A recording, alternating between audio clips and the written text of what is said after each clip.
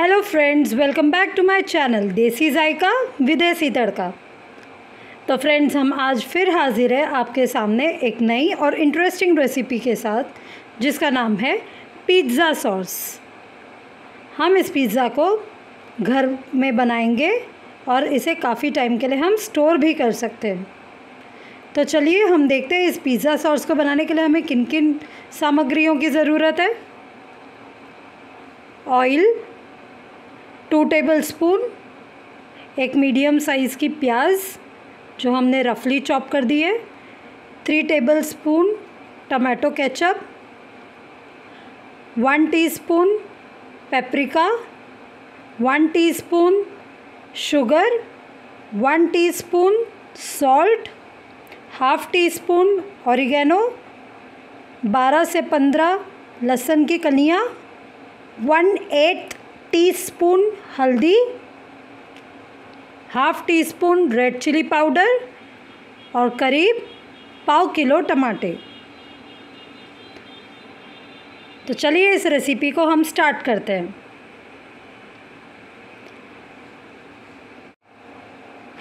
इस रेसिपी में आप तीन से चार इंग्रेडिएंट्स को अपने हिसाब से बड़ा और घटा सकते हैं।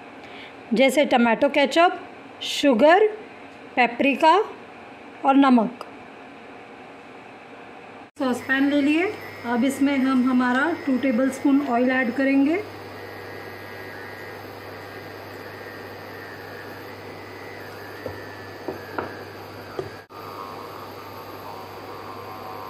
हमारा ऑयल गर्म हो गया है। अब हम इसमें हमारी गार्लिक की पॉट्स ऐड करेंगे।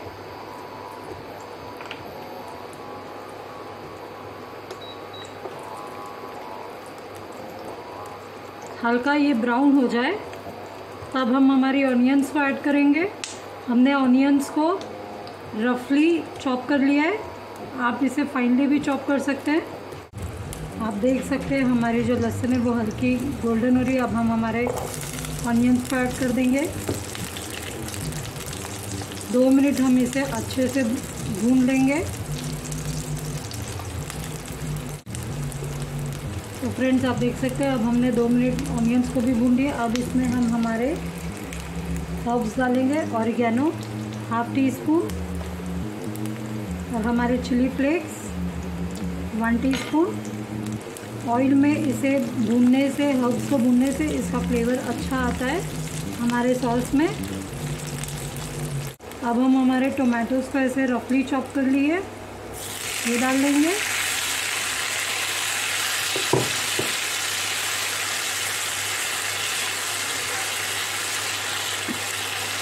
इसे अच्छे से मिक्स करके।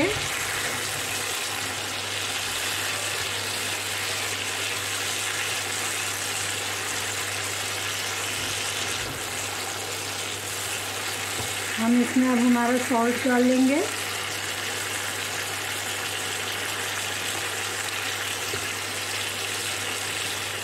हमने वन टीस्पून सॉल्ट लिया, आप चाहे तो कम भी ले सकते हैं, ज़्यादा भी ले सकते हैं।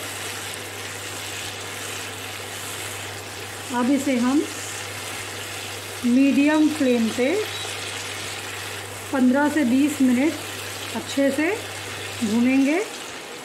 जब तक कि जो हमारे टमाटर है, वो अपने छिलके को ना छोड़ दे तो छिलके टमाटर से अलग हो जाना चाहिए।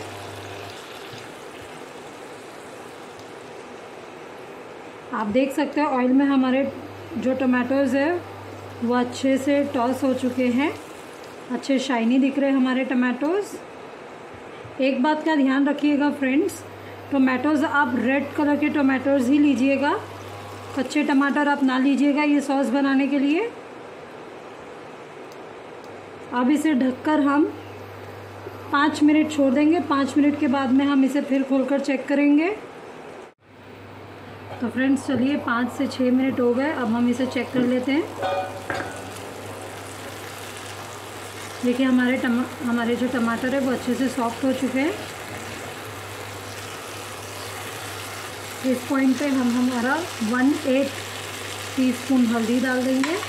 करीब एक चुटकी half teaspoon red chilli powder डाल देंगे और वन टीस्पून शुगर आप चाहे तो बढ़ा भी सकते हो रेड चिली पाउडर और शुगर को। हम इस टमाटो के साथ हम अच्छे से मिक्स कर लेंगे। आप देख सकते हैं कि हमारी ऑलमोस्ट 80 परसेंट टोमेटोज़ सॉफ्ट हो चुकी है।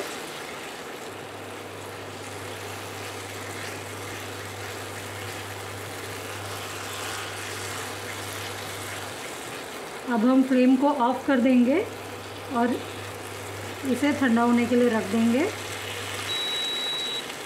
और ये जो हमारा टोमेटो केचप है, वो अब हम इस पॉइंट पे ऐड कर लेंगे और इसे अच्छे से एक मिक्स दे देंगे। और इसे कूल डाउन करके फिर हम इसे ब्लेंड कर लेंगे। तो आप देख सकते हैं फ्रेंड्स हमने इसे अच्छे से मिक्स कर लिया। अब हम इसे ठंडा होने के लिए साइड में रख देंगे। तो फ्रेंड्स आप देख सकते हैं कि हमारा जो टमाटो हमने बनाए थे, वो अभी कूल हो गया है, ठंडा हो गया है। अब हम इसे ग्राइंड कर लेंगे। तो फ्रेंड्स आप देख सकते हैं कि हमने हमारा ये जो पिज़्ज़ा का सॉस है, ये ग्राइंड कर लिया अब हम इसे डिश आउट करेंगे। तो फ्रेंड्स आप देख सकते हैं कि हमारा पिज़्ज़ा सॉस रेडी है। अगर आपको मेरी ये वीडियो पसंद आई है तो मेरे चैनल को देसी जायका विदेशी तड़का को सब्सक्राइब करिए लाइक करिए शेयर करिए और कमेंट करिए। Thank you